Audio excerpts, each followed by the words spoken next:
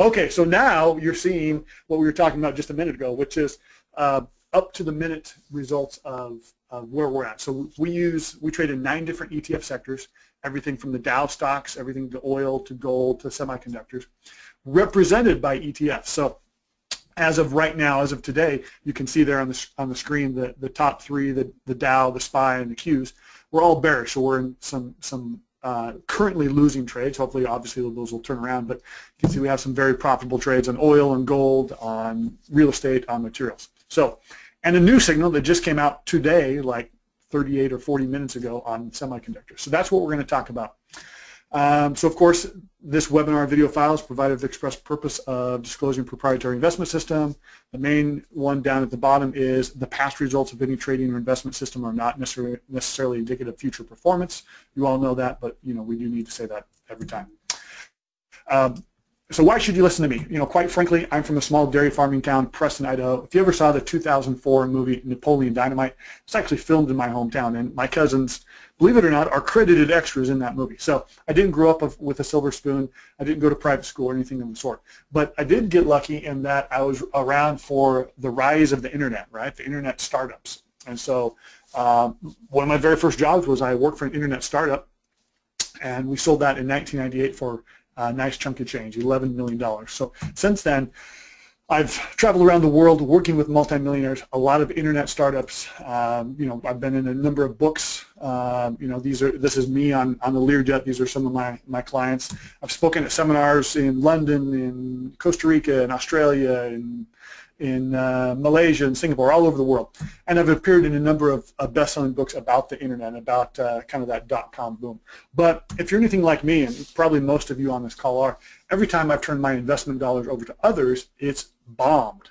So I have no trouble making money, right? But every time I turned in the past, turned my money over to someone else, an investment advisor of some sort, um, you know, they all, all, of a sudden the returns dissipated, right? You know, they had a, a, they would have tremendous track records, but it just so happened that the year that I turned my money over to them, you know, uh, there were negative returns for the year or returns were flat. But on the other hand, if I'm anything like most of you, I have zero desire to day trade or be chained to my desk. And so, you know, my biggest goal is to be able to travel the world. You know, I've actually been to over 50 countries now. Uh, which is one of my great passions in life. And my other passion is, you know, spending time with my wife and three kids. So uh, that picture is a little bit dated. I need to update that. My son, the one on the left, is actually 6'8 now, and I'm 6'6. So that's a kind of a, a, shocking experience when you're when your kids get taller than you. I'm sure uh, many of you have had that experience as well. So what I'm looking for is a way to get way above market returns, lots of compounding, but do it in less than 15 minutes a week. I don't want this to be a full-time job. Uh, you know, I'm a part-time trader. I have uh, other businesses that I run during the day, like like many of you. But I do want to get above market returns, and I want to have the ability to compound my money, and in less than 15 hours a week. So, what are the results of the system? Well, the box score of this system is what we call it. Goes back uh, almost nine years now, and the boiled down number is down there in the bottom right. We're averaging 3.11% per sector per month across nine different ETFs. And just to kind of put that in perspective, if you go, went back to January 2007, which is the first date that we started publishing these signals, and put $10,000 in each of the nine different ETFs, on the Dow, you would have turned that 10,000 into almost 150. On the SPY, it would have been about 85,000. On the Qs, about 100,000. On the KBE, about 900,000. On oil, about 130,000 or so. On gold, nearly 400,000 Semiconductors about 160. Uh, uh, the real estate been on a massive tear recently, and you'd be turn that 10,000 into almost $900,000. The XLB about $225,000. So the, the top lines on there show with compounding, the lines underneath it with, with no compounding. So with compounding, you would have turned $90,000 into a little over 3 million, which is a 33 times increase in those uh, in those nine years. But even without compounding, you would have turned that $90,000 into 400, still respectable with zero compounding, a four and a half times increase. So that's what we're going to talk about today is how the system works, how it uh, plays into my customers' trading plans and the way that I use it.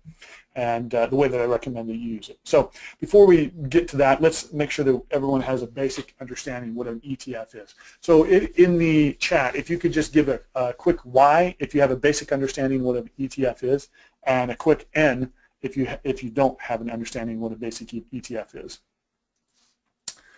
We'll kind of make sure that we get some of those. Okay, we got most people are putting in Ys. Well, a ton of Ys just a couple notes. Okay, so uh, we'll skip over most of the basic information, but a basic ETF is just an artificial index created to exactly mimic the, mimic the underlying basket of stocks. There's no management fee. The price fluctuates just as the underlying do, does. You don't have to have a fund manager doing stock picking.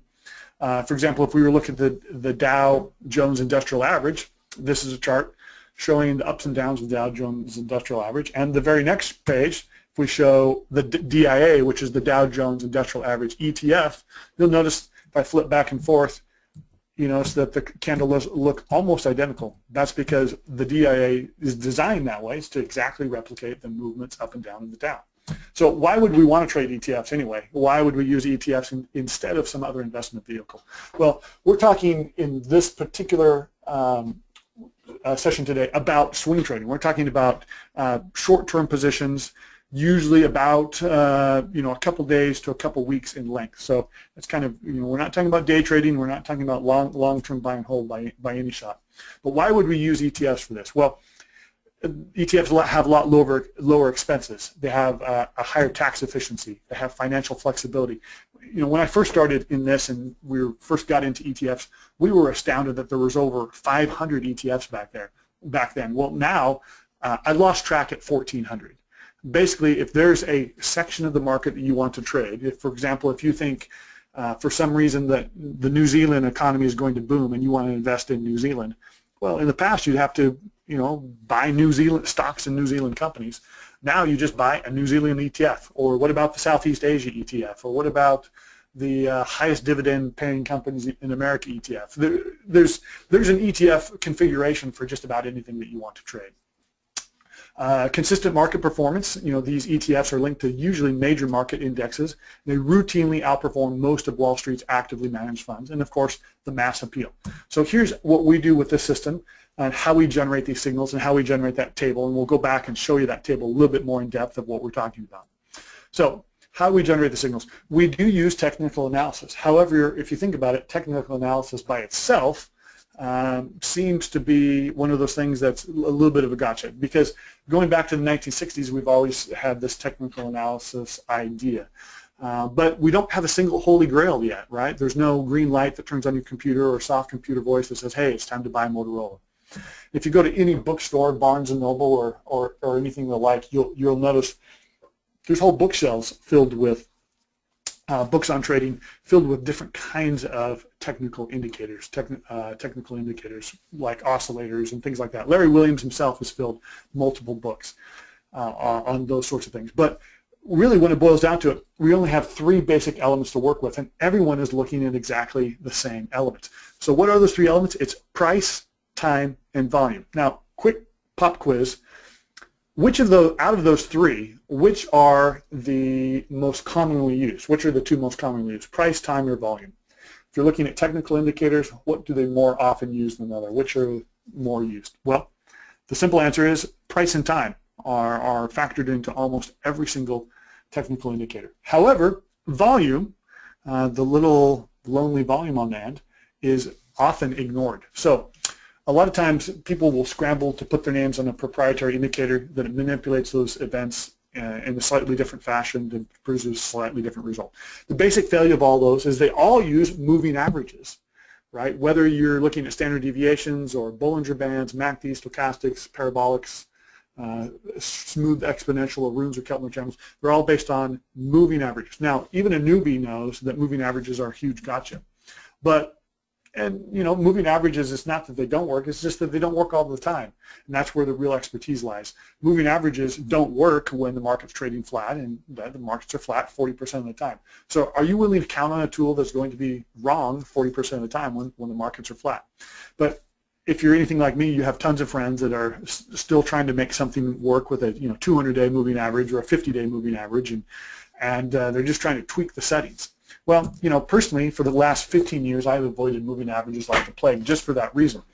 Sure, I still look at stochastics every once in a while and my secret sauce, kind of the 533 when I'm watching, watching for a trend change or confirmation.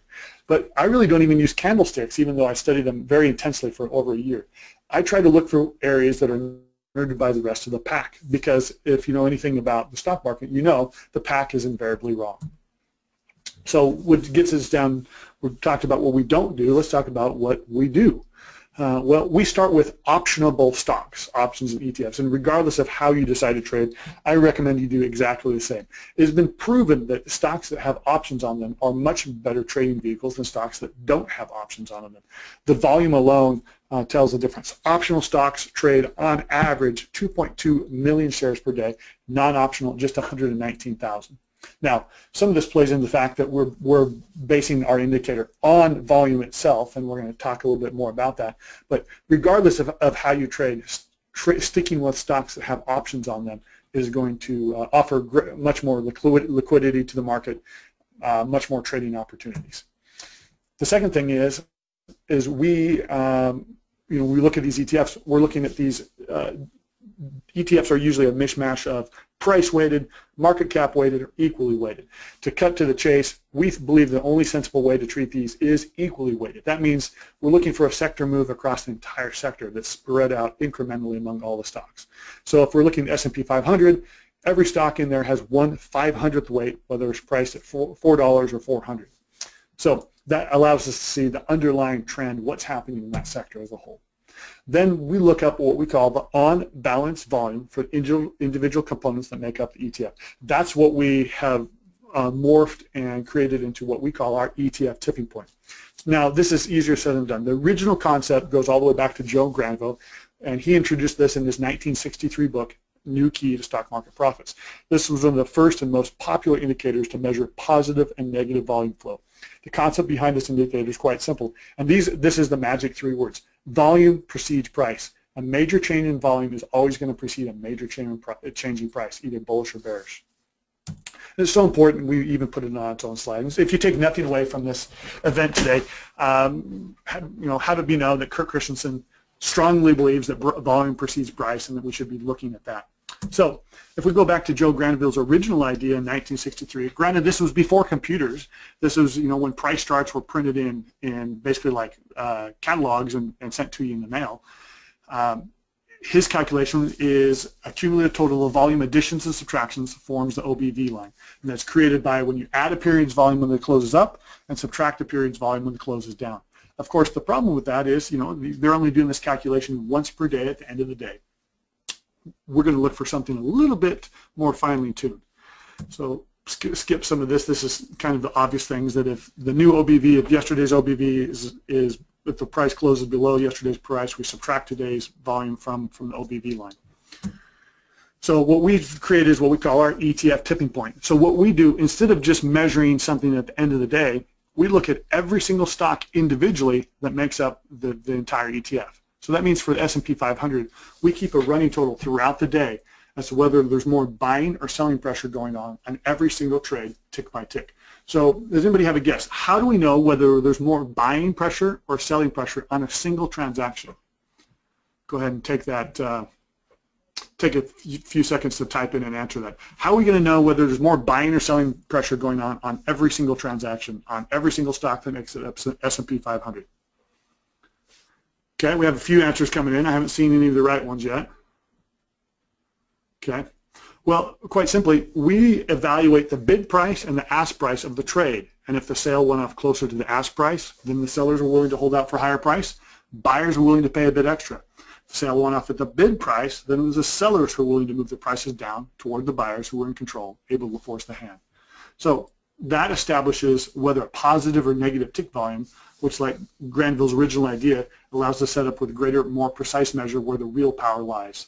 Where's the power, with the buyers or the sellers? Now, by the end of the day, we can look at a losing day in terms of price, but we know that on balance it was actually a bullish or bearish move for the majority of the stock.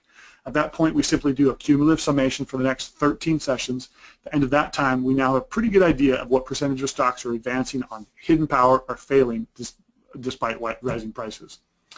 So at the end of the day, we know that out of 500 stocks in the S&P 500, how many are positive, greater than 50% with more real accumulation? How many are negative?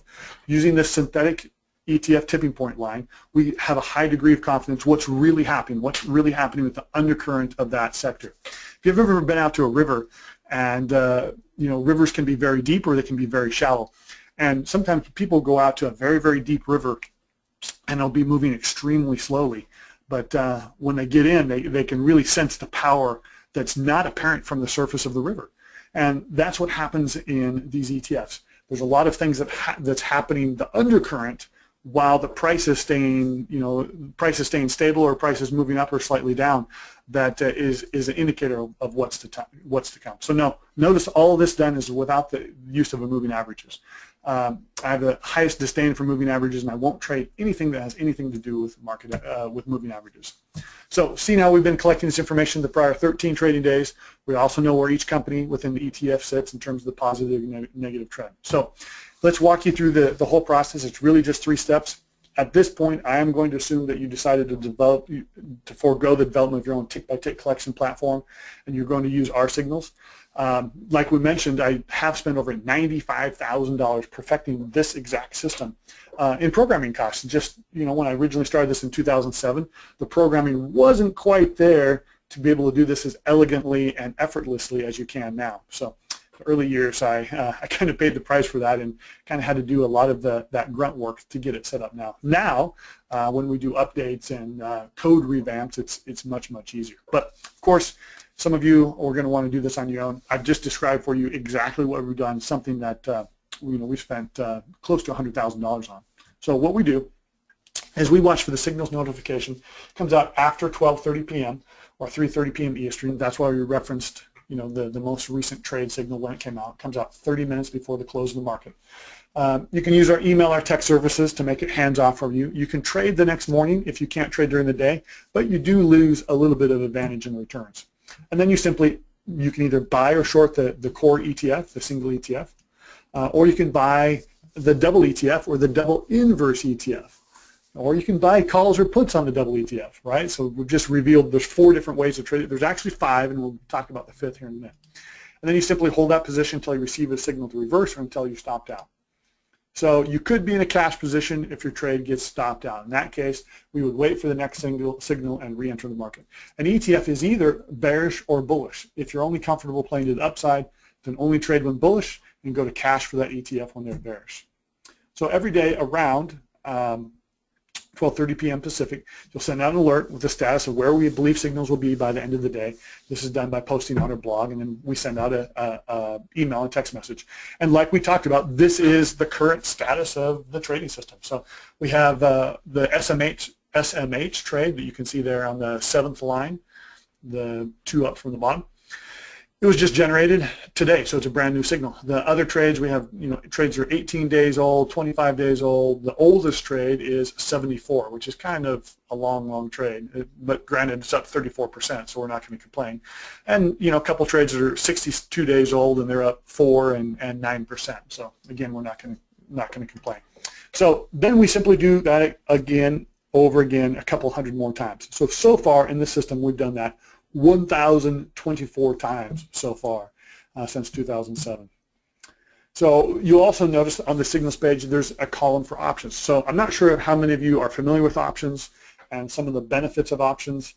Um, I'm a big believer in options. Uh, I believe options, when done properly, actually carry ri less risk than trading the underlying ETF, and we'll explain that in a second. Uh, we do use a slightly different uh, uh, slightly different method to trading options than a lot of people. Okay, so what we do is we generate our, use our proprietary options engine that knows the way we like to trade. We like to trade deep in the money options, typically, typically with a delta of about 70 to 75, and typically four to six months out.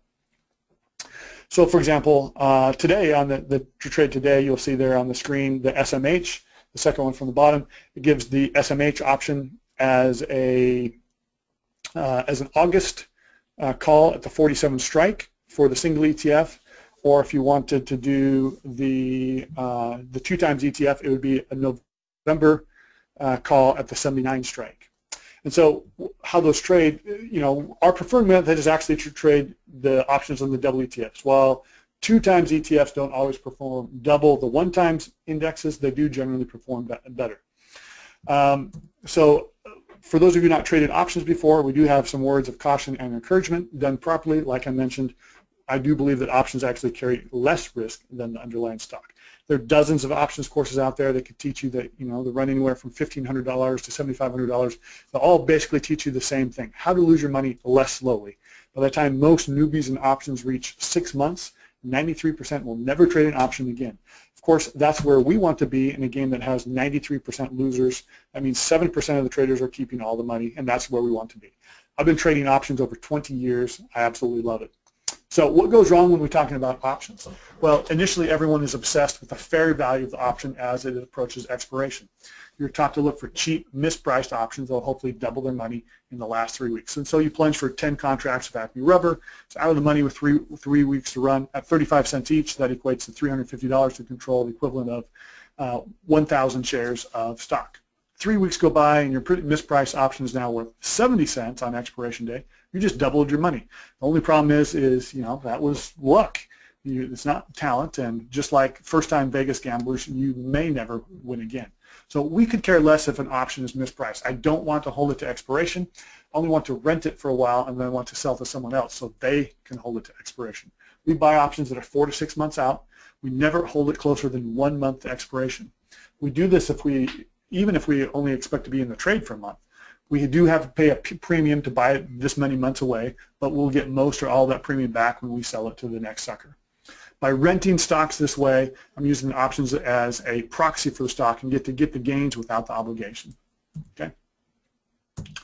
So let's skip over that. So one of the main things uh, to counsel you when you're talking about options is to not overinvest. Only invest um, the same amount of money uh, that you put in that you would put into the equity to control the same amount of stocks. So in our system, if you have $3,000 into each of the nine sectors, uh, at that point, if you wanted to in invest additional money, we would recommend to put in one options contract for every $3,000 invested in the sector, or uh, one options contract for every $5,000 invested in the two times ETF. So do not overinvest. Do not overinvest in options. So like we mentioned, buy enough to return what you expect to make on a stock-only purchase. There's enough compounded leverage in the system to make everything that you need. Um, if all this, you know, kind of makes your head swim, just keep track of the options prices as as you go through the course, and you'll notice over time and become uh, a believer.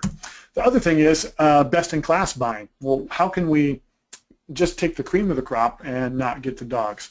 Let's say that we get a signal to buy on the HUI, which is our gold miners index, which is our proxy for the gold index. Well, we know that there's 15 stocks in this basket, and uh, we're spreading the risk among this basket. But of course, uh, the problem is is that uh, we're also buying the dogs as well as the high flyers. So what we do is we uh, allow you a way around that we evaluate the stocks that make up the ETF as well as uh, what's going on the ETF itself. So let's take a look at that uh, right here. So on this particular day, this isn't this isn't current or anything, but uh, on this particular day, the Dow had a uh, a bullish signal, right? And on that day, of those Dow 30 stocks, that if you wanted to cherry pick the, the top two or three, you would look at Alcoa, Chevron, and Boeing. So what they're saying is now, while the entire sector is on a bullish move up, you still have a couple stocks that are dragging down the sector. At the bottom, you got Hewlett Packard, J.P. Morgan, United Health Group but there's a couple stocks you're picking off the cream of the crop. So it's something that's in the current of the stream, in, in the current of this river. It's going in the correct direction, and it's going faster than uh, the stream itself. So in that case, we would buy the Alcoa, the Chevron, and the Boeing. And again, we have options available on those. We'll evaluate and show you which Alcoa options, which Chevron options, which Boeing options to, to pick. Um, and so this system is normally too volatile to chase. Uh, we, we sometimes get people who want to, you know, evaluate against some other confirmation uh, or some other, you know, uh, top or bottom of the market or some other moving average even. And then they ask me about it, and that always is, is humorous. But you'll notice in the closed trades that the average trade length is, is about 12 days, but you'll see that we do have quite a few trades that only last one to four days. So the idea with this was to give us a simple way uh, to get our money working for us in a kind of a swing trading fashion, not day trading, not being chained to a desk, and having us be able to get above market returns in less than 15 minutes a week. So of course, uh, usual legal stuff, our attorneys make us say financial markets risky, investing is risky, past performance does not guarantee future performance. So who might be interested? This is my quick, um, you know, two-minute sales pitch for the ETF tipping point. If you have any interest in this, um, feel free to take us up on this. If not, of course, that's uh, fine as well. We've been doing this for almost 10 years now. We'll be we're here for the long run. This is a system that I use in my, in my daily investing day by day, and I, I tell you, it's made a dramatic difference in my in, in my life.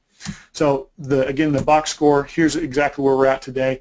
Uh, you know, pretty representative. We have some losing trades, some winning trades.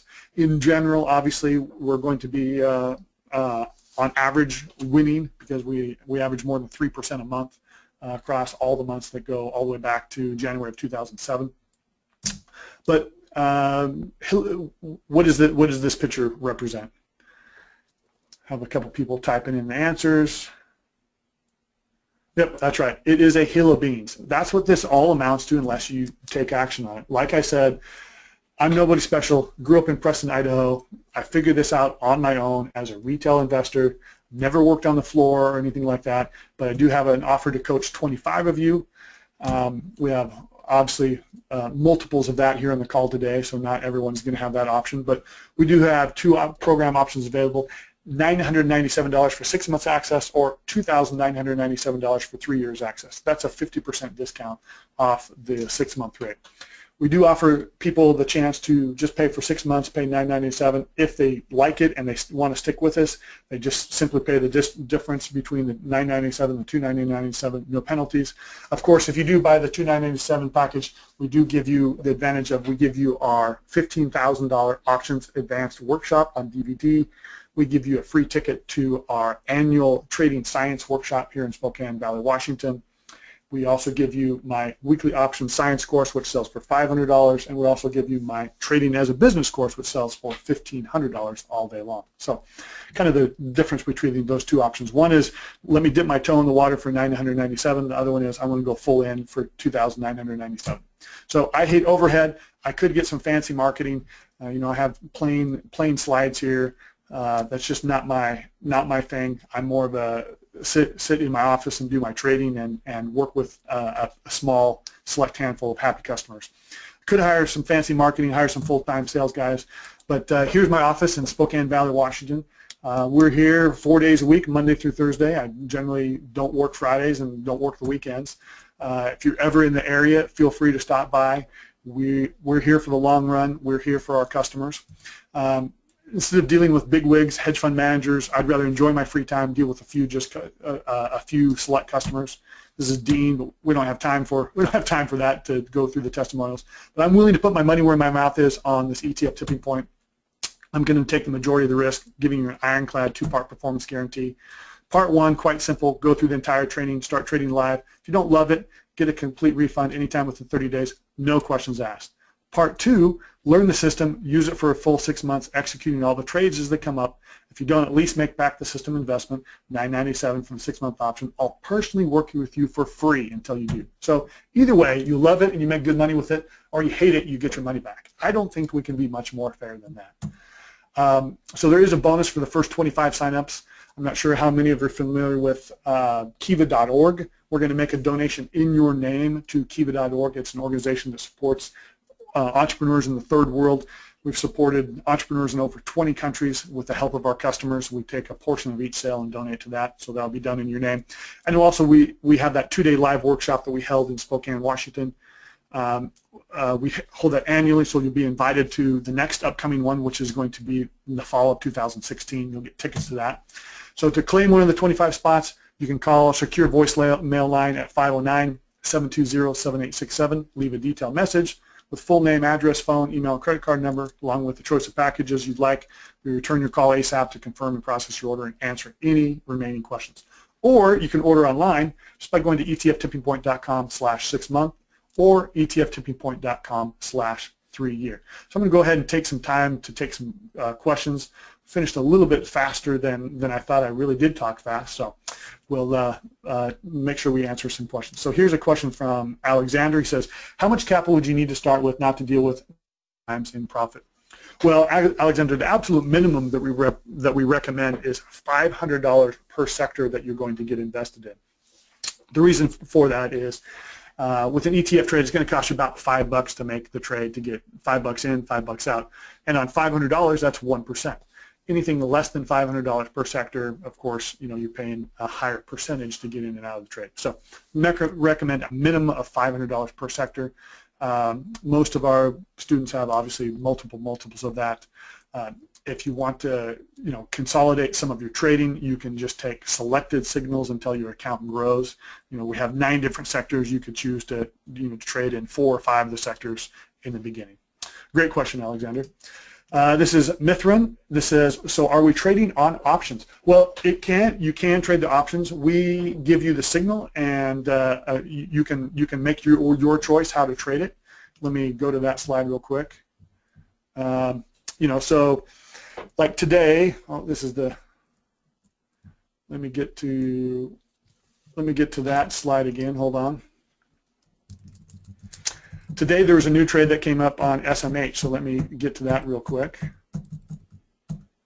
So today there's a new trade on SMH. So the different ways that you could trade that on SMH is you could uh, simply uh, buy the SMH, because this was a bullish signal SMH, or you could buy the two times ETF on the semiconductors, which in this case would be the USD, or you could buy the option on the SMH, which is a call, or you could buy the option on the USD, which is also a call, or you could look at the individual components that make up the semiconductor index and place options or stock trades on the underlying components. So there's five different ways to trade it. Okay.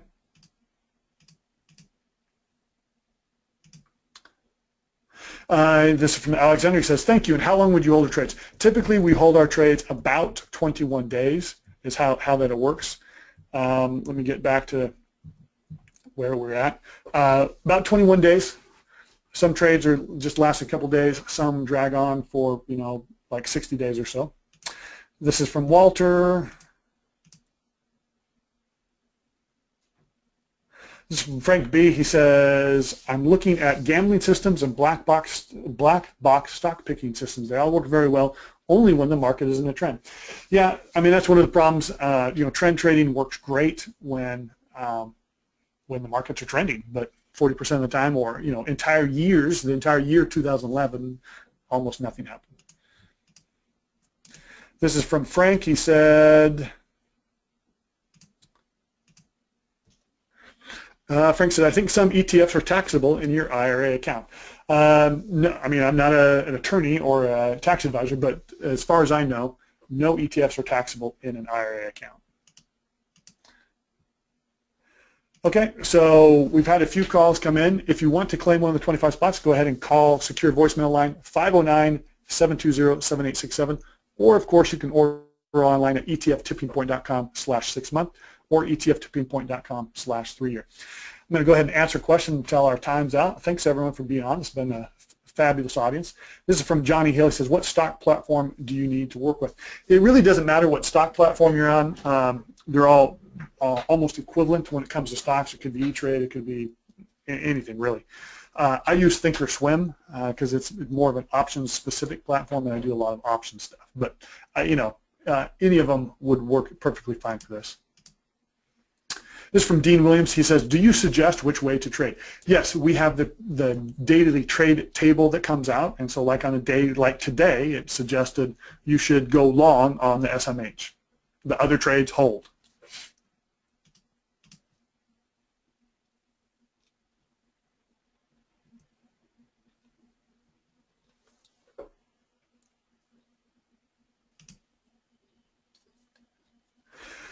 This is from Mithran. He says, I heard there are some guarantee, not 100%, but sort of, in ironclad options. Is that a strategy, kind of? Uh, I'm not under, uh, I think you might be, Mithran, you might be talking about, if you said ironclad options, maybe you're talking about iron condor options. Um, you know, I've traded iron condors over the years. I mean, it, it's not something that we do with this particular strategy because this is a directional strategy, and iron condors or are a more, or not a more, they are a uh, market neutral strategy. This is from Frank B. says, can you define your way of compounding? Yeah, quite simply, the way that our returns on the compounding are calculated is that in the beginning we set out uh, an equal allotment, so we put $10,000 in, into each ETF. At the conclusion of that trade, the remainder, uh, be it up or down, whether the trade was a winning or losing trade, we put that same amount into the next trade in that sector. So the compounding occurs at the end of one trade into the next trade.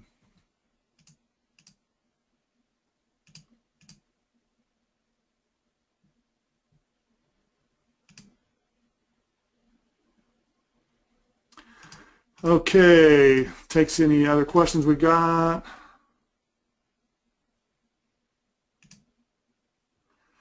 This is from Shahzad. What have been the winning versus losing stats? I don't have that right here, uh, so I can't give you an exact quote, but it's about 65 to 70% of winning trades.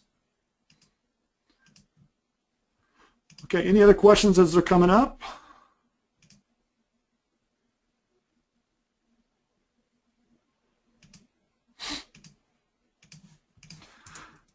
So let's go back to that signal. This is no, that's not the one for today. I have a couple questions, uh, similar questions just on today's trade. So uh, today's trade was bullish on the semiconductors. Just happened. Uh, excuse me. Sorry, it's bearish. Sorry, should read the very top. SMH changed to bull from bearish. No, sorry, it is bullish. I'm reading it backwards we are bullish on the SMH. So that means if we're going to follow the direction of the trade, we're going to either buy the SMH, that's uh, way one to, to make the trade. Way two, we're going to buy the two times bull ETF, which in this case, we show you in this column, is the USD. So we could buy the USD. If we wanted to do the options, we could buy a call on the SMH, right? That's a also bullish direction trade we could also buy a call on the USD, which is the two times uh, directional bullish ETF. So hope, hopefully that answered that question on, on today's trade. Okay, any last questions before we wrap up? We got done a little bit ahead of time. Hope you guys learned a ton. Um, I know that uh, this is kind of a different sort of uh, avenue, a different sort of trading than many of you are familiar with. So that's good. Hopefully we'll introduce you to um,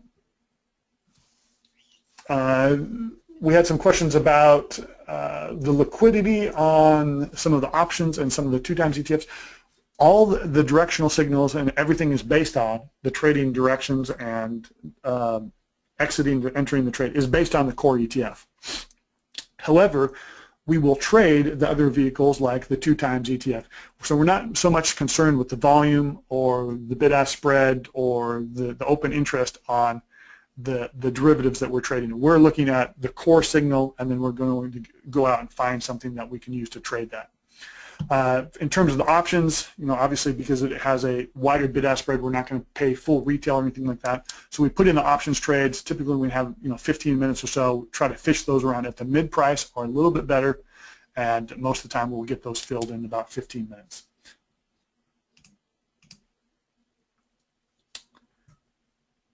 All right, let's see if there's any other questions. I'm kind of going through the questions. I think that is about it. So thanks, everyone. Thanks for being on. Uh, welcome some of you as new members in the 25 spots. Again, call the Secure voicemail line 509-720-7867 or online etftippingpoint.com slash six month or etftippingpoint.com slash three year. We've been doing this for nine years, folks. Uh, we're not going anywhere. We've got hundreds and hundreds of satisfied customers that are on with us, and uh, it's been a fabulous ride. You know, we're we're not hitting home runs every single every single month or anything like that, but we are uh, growing our trading counts month in, month out, year in, year out, and uh, you know, really that's that's what matters. That's that's an important thing to take away. Someone said show slide two. What slide two? I have no idea.